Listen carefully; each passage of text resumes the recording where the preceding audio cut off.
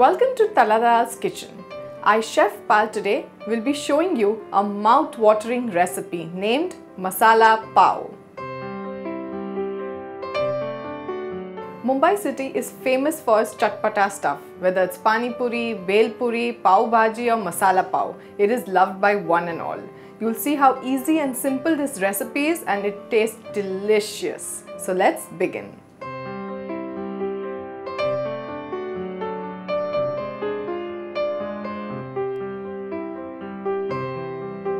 We'll heat butter.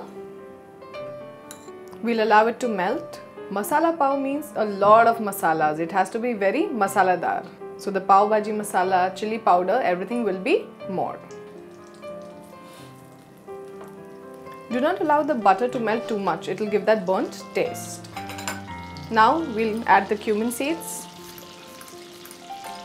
We'll allow them to crackle. Now we'll add the chili garlic paste. This is readily available in the market or you can also make it. To make it you have to soak red Kashmiri chilies in hot water for 30 minutes and then blend it in a mixer with garlic cloves to a smooth paste. This gives the color. The red color that you get outside comes with the chili garlic paste. We'll add the finely chopped onions, capsicum, We'll mix well and we'll allow it to cook for at least 5 to 7 minutes till the onion and capsicum are little soft. We'll add little water and we'll allow it to cook. Make sure you keep stirring in between otherwise the onions will start sticking to the pan. If you feel that the mixture is getting little dry, you can add a little water. But do not add too much because later we are going to add tomatoes and some water. And as you know, tomato releases water. Uh, onion and capsicum have been cooked well. So let's add our tomatoes. We'll add some salt. We'll add little chili powder. We'll add some pav bhaji masala, a very important ingredient. And water. And we'll allow this to cook for 10 to 12 minutes till the tomatoes are nice, soft and juicy. When you allow it to cook for 10 to 12 minutes, make sure you keep stirring in between.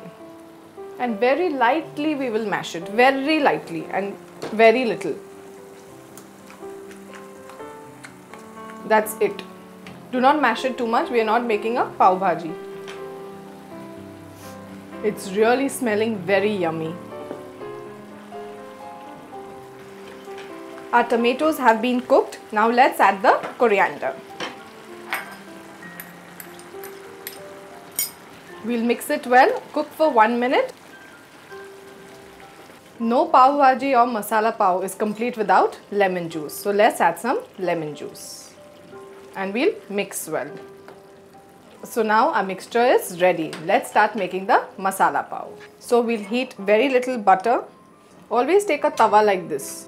We'll allow it to slightly melt. We'll put very little bhaji. I'm showing you for one pav.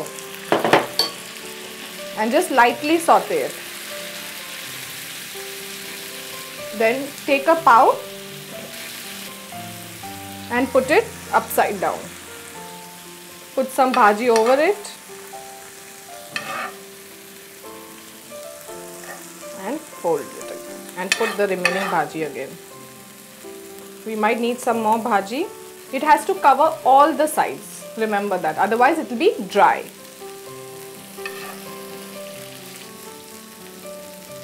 So our one masala pav is ready. So now let's serve. Our masala pav is ready. Enjoy it hot with lemon.